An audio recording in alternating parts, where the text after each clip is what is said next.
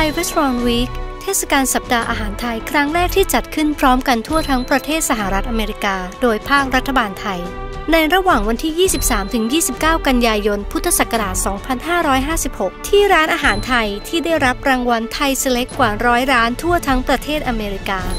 แต่ละร้านจะเลือกอาหารอร่อยๆ 3 จานที่ต้องการให้คนไทยและอเมริกันทดลองทาน รวมอาหารแนะนำกว่า 300 จาน ในช่วงสัปดาห์งาน พียงแค่ท่านสั่งอาหารจานใดจานหนึ่งที่ร้านนั้นๆ แนะนำ รับส่วนลดทันที 15%ทั้งมือ้อ